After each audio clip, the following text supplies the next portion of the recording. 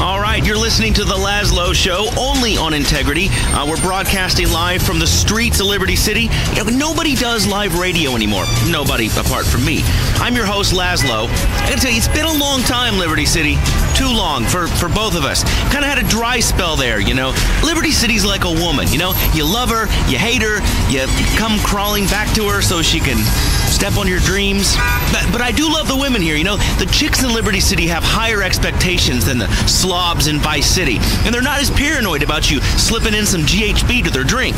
This is the media event of the century because I'm bringing radio back to the people. It's Radio 2.0. It's the future. You know, you don't listen with your ears, you, you listen with your soul. We're going to be doing a radio show and a podcast about a radio show and, and a blog that, that's about the podcast that's about the radio show. It, it's it's media intermingling, uh, like uh, like one of those magazine ads that have all different ethnicities. You know, I'm getting under the city's skin, you know, into the fatty layer with the with the warm pillow of a gunt to rest your head on. You look up and you go, "Where's my dignity?" With this radio show, I'm making a difference, it, and it's all in association with our sponsor Zit, because we can spot the song you're looking for. You're listening to the radio, you hear a song, call Zit 948-555-0100. Yeah, that's right. I'm walking the streets doing a show. This is live, people, huh? This is radio. Can you keep your voice down? You're talking too loud. Hey, easy, honey. I- I'm on the radio. Who cares what this is? Shut up. Yeah? Can you wear a bag over your head? You're ugly. Go play some Sudoku and die peeing on yourself. You don't talk to the media like that. This is radio, in association with my mega awesome sponsor, Zit. This is about people taking the city back from the media barons. I'm literally walking the streets of Liberty City, interviewing people, getting questions answered, you know, discovering why people want to live in a crime infested, overpriced dump without trees. Uh, excuse me, sir, uh, can I speak to you for a minute? What do you want? Well, I, I want you to. Hey, hey, I'm not like that. I'm not a knob goblin. Hey, listen, easy. Okay, you're not my type. I prefer, you know, unconscious chicks or, or milfs with with stretch marks. Besides, listen, dude, I'm famous. Do, do you want to be famous? No way. I don't want the paparazzi taking pictures of me naked doing coke. Sorry, bro, you're a little too late. You just made radio history. You're the very first guest on Integrity 2.0. This is history, my friend. The Lazlow Show here, making media history, like like when they shot the president on that episode of 72. Oh, I've been up for three days. I'm I'm really moody. Uh, I'm trying to fight terrorism. You know, how come nobody on TV goes to the bathroom? What are you talking about? Have you been drinking? I, uh, yeah, a, a little. But, but listen, quiet, okay? I'm talking. Let the host talk. People will remember this show. They'll remember this time because, you know, I'm finally reinventing radio. I'm, I'm like Lazlow Marconi, you know? I've tried blogging, porn, I've tried Vinewood, uh, glory holes, facefuls of pills, but screw that.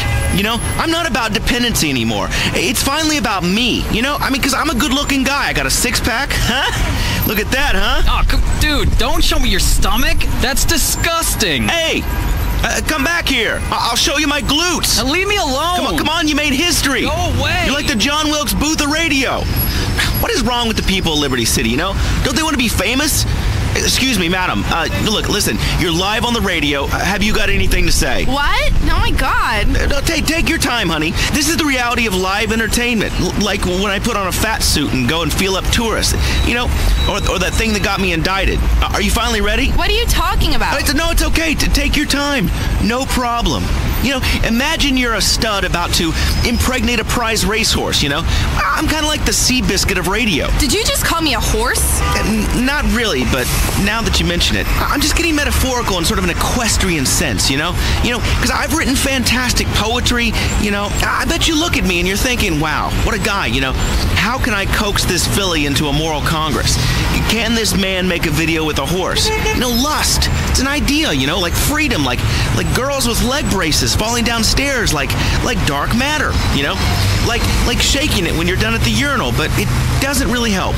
So tell me, what's on your mind here in Liberty City? Yeah, um, oh my god, am I on the radio? Do you not realize that? Uh, th- this is a microphone, stupid. Oh my god, you're an asshole. No, actually, I'm a DJ, but but I don't spin records. You know, I spin words into minds.